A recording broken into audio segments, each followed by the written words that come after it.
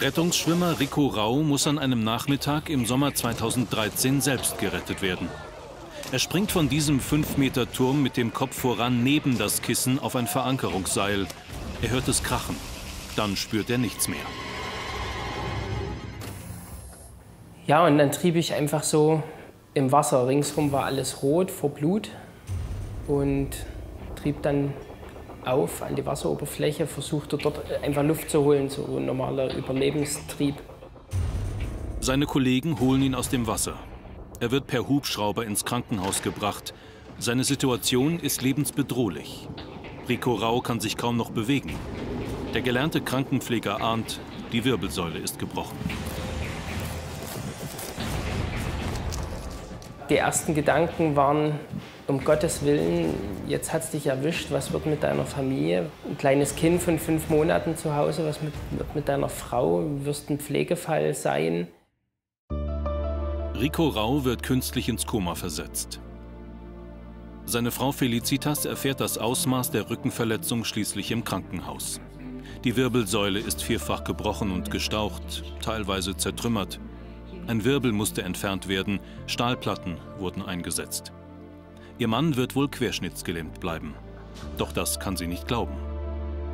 Das Verrückte ist, dass ich ähm, nie Sorgen hatte, dass er wirklich auf Halsquerschnittsgelähmt sein wird, sondern Gott hat mir halt wirklich einen Frieden geschenkt und ich wusste einfach, der wird wieder. Das war was, woran ich nicht rütteln musste. Ich konnte das auch Außenstehenden nicht erklären, woher ich das weiß oder warum ich mir sicher bin, sondern diese, diese, dieses Wissen, diese Zufriedenheit hatte ich einfach gehabt. Nach zwei Wochen wird Rico Rau aus dem künstlichen Koma geholt. Er kann die Arme und Beine tatsächlich nicht mehr bewegen. Nur die Füße kann er noch ein kleines bisschen spüren. Ich lag in dem Krankenbett und habe mir gedacht, warum ich, warum, was soll das alles? Die Familie ist da, ein, ein, kleines Kind, was ich wahrscheinlich nie wieder auf der Rutsche auffangen kann, ja, oder mal der, äh, an der Schaukel anstupsen oder ähnliches. Immer nur im Rollstuhl sitzen, was ist das für ein Leben? Und habe dann auch mit meinem Glauben gehadert, mit, ich habe mit Gott gehadert und habe wirklich gesagt, so, zeig mir jetzt, was das hier soll, ansonsten ist Schluss mit uns. Seine Frau Felicitas dagegen setzt von Anfang an auf Gott. Sie lädt Familie, Freunde und Bekannte ein, für ihren Mann Rico zu beten. Viele leiten die Information über seinen Gesundheitszustand weiter. Die Nachricht verbreitet sich wie ein Lauffeuer.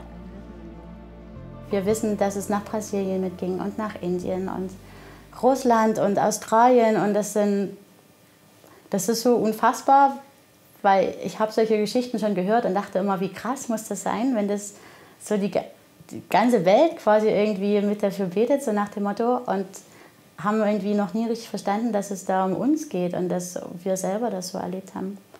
Also das ist, wir sind schon sehr dankbar, dass da so viele mit dafür gebetet haben. Die Ärzte machen ihm wenig Hoffnung auf Heilung. Aber das Gebet scheint tatsächlich zu wirken.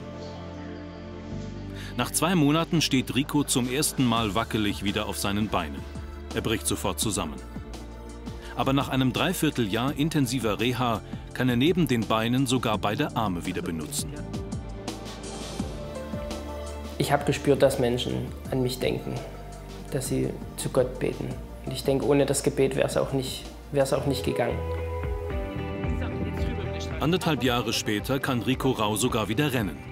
Und noch ein Wunder ist geschehen. Das Ehepaar hat ein zweites Kind bekommen.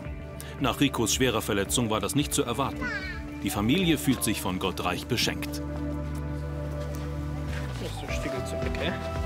Das war auch ein erstes Hochgefühl, Hannah wirklich wieder auf die Schaukel zu setzen und anzustupsen. Das war so dieses Halleluja, es funktioniert wieder. Mhm.